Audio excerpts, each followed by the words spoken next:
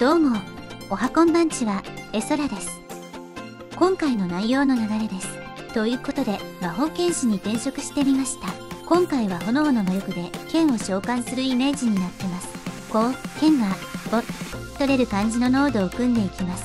剣自体はブレンダーキットの無料プランで入手できるものを使用しています。ブレンダーキットについては別動画で語っています。概要欄に URL を貼っていますので、興味のある方はぜひ合わせてご視聴ください。それでは行きましょう。まずは剣を構えるポーズをとります。ここは毎度のこと好みでしかないのですが、作業文字ベージに欠かせない工程となっています。こんな感じのポーズにしてみました。剣自体の電点はまっすぐ上向きになるように配置しています。それをボーンによって手に持つよう設定しています。ちなみに今回はシェーダーエディターでの作業が中心になっています。Node Wrangler というアドオンを有効化していますのでご了承ください。準備も整ったので設定をしていこうと思います。最初にディゾルブ効果を作成していきます。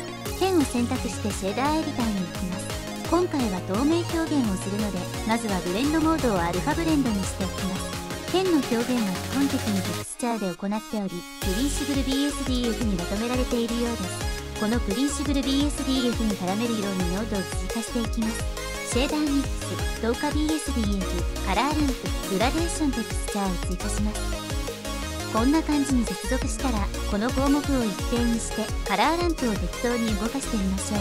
剣が消えたり表示されたりしますね。白から黒に少しずつ変化していくグラデーションを白と黒にはっきり分けて、それに応じて透明部分と剣が表示される部分ができるようになっています。あとはこのグラデーションを意図する形に制御できるようノードを組みます。カラーランプは黒と白が半分ずつくらいになるようにしておきます。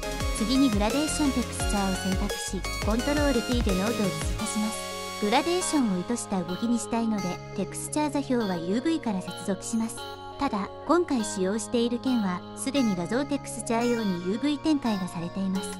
こんな感じに UV 展開されていますが、これでは使いにくいので、グラデーション用に新たに UV 展開します。このデータタブの UV マップの項目のプラスマークから新しい UV マップを追加します。名称を UV リゾルブとし、UV 展開をします。ここの項目が UV リゾルブになっていることを確認します。1キーでビューを正面にし、手で全選択、ビューから投影をします。なんとなくサイズを領域に合わせて真ん中に配置したら OK です。シェーダーエディターに戻ったらテクスチャー座標を削除し、代わりに UV マップを追加します。UV マップの項目で UV リゾルブを選択し、マッピングと接続します。グラデーションは UV に対してこのように左右にかかります。剣を先ほど縦配置で UV 展開したので、マッピングの Z 回転を90度にします。この状態で X1 を動かして、剣の表示が切り替わる箇所を探します。この辺りで切り替わるようですが、剣の出現方向がイメージと逆なので、Z 回転をマイナス90度にします。もう一度 X1 を動かして、剣の表示が切り替わる箇所を探します。グラデーションだけでは単調なのでもう少し動きをつけます。ノイズテクスチャーとコンバーターからミックスを追加し、こんな感じに接続します。ノイズテクスチャーの画数値とミックスの係数を調整して、お好みの感じにします。こんな感じで良いでしょう。次に出現に合わせた発光を追加します。ここにカラーランプを追加して、こんな感じに放射色に接続します。これだけであとは好みに調整するだけです。カラーランプの一番左の色を完全な黒にする以外は自由に設定します。完全な黒なら放射強度に関係なく全く光らないので、その性質を利用します。こんな感じでそれっぽくなったんじゃないでしょうか。ちなみにここの透過 BSDF の部分に違うノードを当て込むと表現も変わってきます。例えば真っ黒な設定を入れ込むと、口たぶきに魔力を込めて真の力を発揮する、みたいな表現にも応用できますね。最後に、ここのマッピングの X1 に管理がしやすいよう、お好みでドライバーなどを設定したら完璧です。